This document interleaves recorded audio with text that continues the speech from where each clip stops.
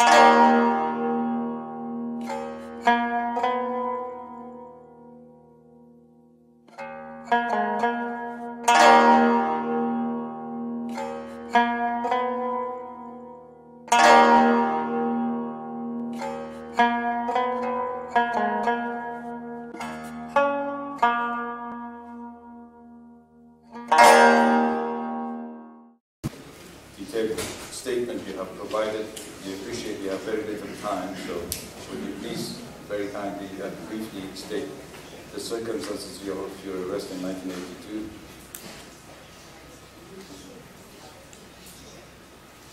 در سال 1300 در سال 1382 منو مشکوک دستگیر کردن و بردن زندان اوین در سالن 209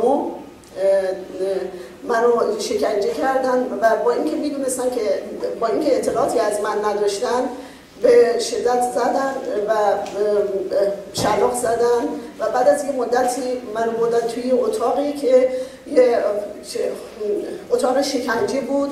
در اونجا وقتی که من با چشمن اونجا نشوندن بازجوی چشمن من همونجوری زد بالا گفت اگر اطلاعات ندی مثل اینا می‌کنم و این بچه من تو اون لحظه بچه ها رو دیدم که آویزونشون کردن از سخت آویزونشون کردن و به شدت اونا رو می‌زدن و صدای زجه اونا رو چه آویزون شده و چه قبول شده توی روی زمین می‌دیدن. و در واقع یک شکنجه وحشتناکی بود که من هیچ وقت این شکنجه رو در واقع این صحنه رو نمی‌تونم فراموش بکنم. و بعد از یه مدتی منو به بند 246 پایین بردن. تو اونجا بند 246 پایین دارای هفت اتاق بود. 700 نفر در اون زندانی بودن. در اونجا من زنان حامله پیرزن دختران 12 13 ساله کسانی رو دیدم که شکنجه های فراوانی دیده بودن و زنان حتی ما اینقدر توی اتاق بودیم اتاق صد نفره بودیم توی این اتاق زن حامله بود کسانی بودن که به شدت شکنجه شده بودن. اینها رو ما حتی نمی‌تونستیم یعنی خیلی از کسانی که تو اونجا بودن نمی‌تونستن حتی بخوابن. و در سال در اونجا من با یک زنی به اسم فخری لکمری آشنا شدم که فخری لکمری 24 ساله بود. به همراه همسرش در ماه ماه ده دستگیر شده بودن اونجا با فخری لکمری در رابطه با سازمان پیکار در راه آزادی طبقه کارگر دستگیر شده بود. بعد از این مدتی در سی ده 1360 اون رو با همراه ده نفر دیگه صدا کردن گفتن لباس وسایلتون به همراه وسایلتون به دفتر زندان مراجعه بکنید. فخری لکمری در اون زمان برای ما یه صحبتی کرد چون ما خیلی احساساتی شدیم و واقعا می‌دونستیم وقتی کسی رو در اون موقع صدا می‌کنن که با وسایل و خودش هم می‌دونست که در یه دادگاه خیلی کوتاه پنج دقیقه بهش گفتن حکم اعدامه می‌دونست که برای اعدام میره. همونجا شروع کرد به صحبت و به ما گفت که دوستان عزیز با اینکه من می‌دونم که شما همه می‌دونید که رژیم جمهوری اسلامی حقانیت نداره و با اعدام های دست جمعی که در اون سال در اون سالها هر روزه انجام می‌دادن روزی صد نفر بعضی مواقع صد نفر اعدام می‌کردن که اگر روزی شما آزاد شدی صدای ما رو به جهانیان و به مردم ایران برسونید proceed. I'm sorry to cut you off. As I mentioned, you have given us a full statement, so don't worry. The Commission has your full statement. You were released in, after a few weeks of your arrest, and then you were rearrested in 1983. Is that correct?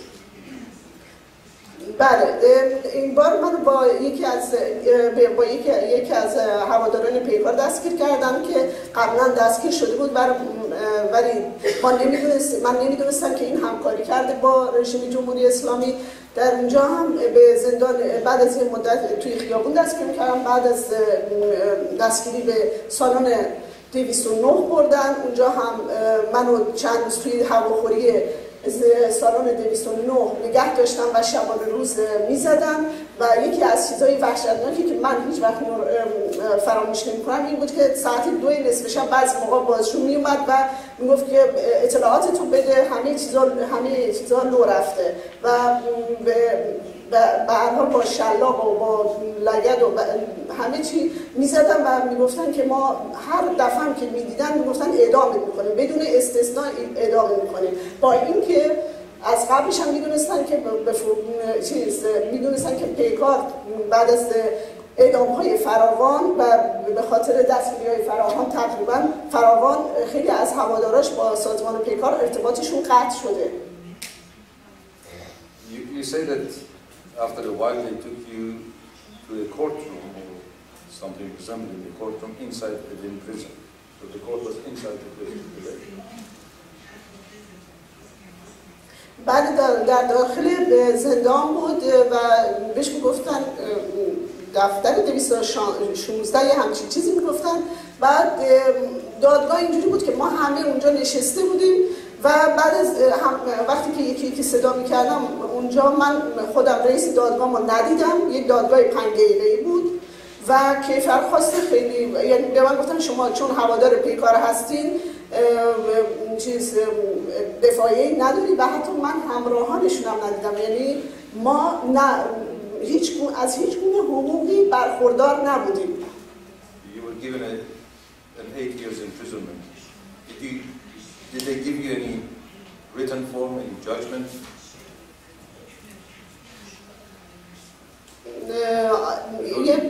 آره هم همون موقع که بعد از هشت ماه وقتی من صدا کردن دوباره به 216 به من گفتن که این نامه رو امضا بکنید که من همونجا گفتم که خب من که کاری نکردم برای چی امضا بکنم؟ بعد بعد از این مدت بعد از گرفتن حکم ما رو فرستادم زندان قزل حصار در آنجا من در یک حرکت جمعی در اعتراض به چادر مشکی شرکت کردم و به همراه صد تا از زندانیان چپ که اعتراض داشتن و ما رو دوباره به زندان اوین زیرزمین 209 اوین بردم و در اونجا در به مدت من خودم به مدت 9 ماه در اتاقای دربسته بودم. در یه اتاق اتاق اتاقی بود که دوازده یا سیزده متر بود و حدود سی نفر در اونجا بودن و حتی ما نمی‌تونستیم تکون بخوریم اینقدر وضعیت اتاق در کوچیک بود و در, در روز سه بار ما رو صدا می‌کردن برای حمام یا دستشویی یا در اتاق باز می‌کردن که غذا To become insane, suicide or be executed. Uh, were there also people that had problems of mental illness while you were in, in prison yourself? بله من تو دوره های مختلف تو زندان دیدم کسانی که در اثر فشارهای روحی روانی و شکنجه هایی که دیدن چیز می‌کردن خودکشی می‌کردن که سال 67 سال خیلی وحشتناکی بود. وقتی ملاقات ها رو قطع کردن وقتی که شروع کردن به اعدام پسران در بندهای دیگه و در بند ما سه گروه رو سه گروه زنان رو سه گروه ده نفری رو صدا کردن و اون سه گروه ده نفری رو وقتی که صدا کردن من توی سلولای انفرادی بهشون گفتم مسلمان هستی یا نیستی نماز می‌خوانی یا نمی‌خوانی؟ و اگر کسی این رو انکار می‌کرد هر بعدی پنج ضربه شلاق بهشون می‌زدن یعنی روزی 25 ضربه شلاق میخوردن. بعد در بعد ما حدود فکر کنم 5 6 نفر 5 نفر می‌دونم که خودکشی کردن که سه نفرشون موفق دو نفر سه نفرشون موفق شدن. یکیشون هم که سال 66 خودکشی کرد پروین گلی آب کناری و مهین بدوی. این صحنه مهین بدوی رو من هیچ وقت نمی‌تونم فراموش بکنم چون زمانی که خودکشی کرد من در حمام رو باز کردم دیدم مهین با لباس لیموی رنگ قطع به خون زیر دوش قرار داره و ما دکتر رو صدا کردیم و وقتی که دکتر صدا کردیم اینو بردن بردن بهداری و تو بهداری بخیه دستاشو بخیه کردن. ولی علا رقم این که می‌دونستن که مهین بدوی خودکشی می‌خواد بکنه خودکشی هدفش خودکشی کردنه توی سلول انفرادی میگشتش و در اونجا بخیه دستاشو باز کرده و خودکشی کرده بود. و این در واقع خودکشی توی ذهن بعضی از بچه ها بود. و من دو تا مورد در خانواده می‌خواستم بگم. می‌تونم اینجا بگم؟ در مورد اعدامی های سال 60 We have very little time. Would you please, please wait for the questions from, from the Okay. Thank you very much. Or by the officials themselves? Or did you assist some of these executions? Did you see uh, personally some of these executions?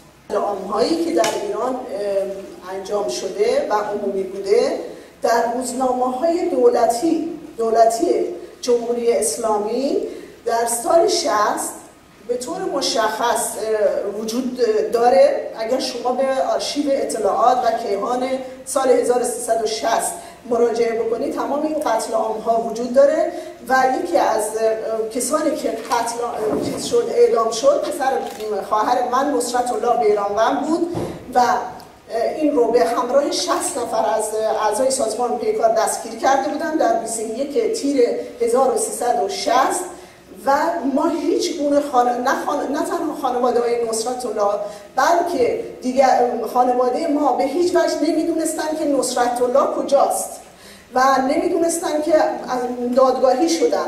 فقط من می‌دونم که خواهر یک روز رفت در زندان اوین بهش گفتم برو بشین دمت رادیو تلویزیون برو رادیو تلویزیون رو گوش کن.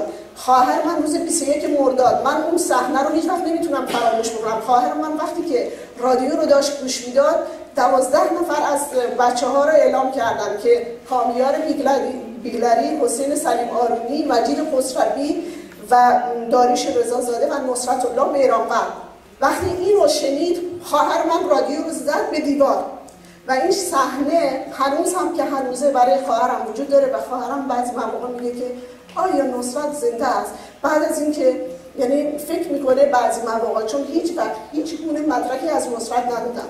هیچ وقت مدرکی ندادن که کجا فقط بهش گفتن تو خاورانه می خاوران فقط یکی از این قبر چیزا رو قبرا رو نگه داشته میگه این پسر بده یعنی قتل عام ها خیلی عمومی بود و توی تلویزیون جمهوری اسلامی شرمی نداشت